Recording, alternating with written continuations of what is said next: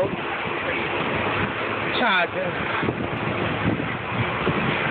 Hey, Robert that's the last time.